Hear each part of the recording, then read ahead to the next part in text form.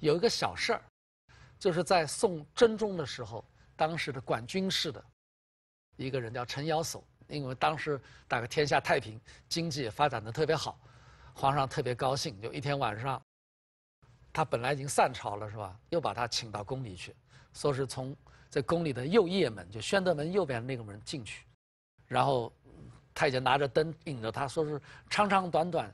穿了半天，不知穿到哪里，然后到了一个很小的院子里，一个很小的店，院子里也点了几盏小灯，然后看见七八个人，就是寥寥几个大臣，都是皇上特别爱的，奸臣哈，丁谓也在，几个人互相看看，叫我们什么事儿？过了一会儿，皇上出来了，在这个店里头，那个东面的座位坐下了，朝西，然后安排几个大臣坐在西面那个位置，朝东，这么一来，就皇上成了。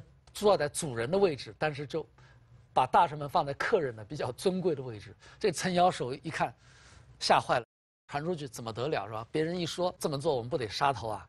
皇上就不高兴了。宋真宗说：“我今天像一个平常老百姓一样请个客，你就不能让我开心一下吗？”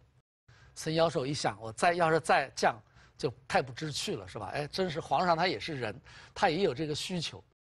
结果君臣尽欢是吧？先吃上几杯酒，皇上送了一个重礼出来。大臣，哎呀不得了，送了这么重的礼物。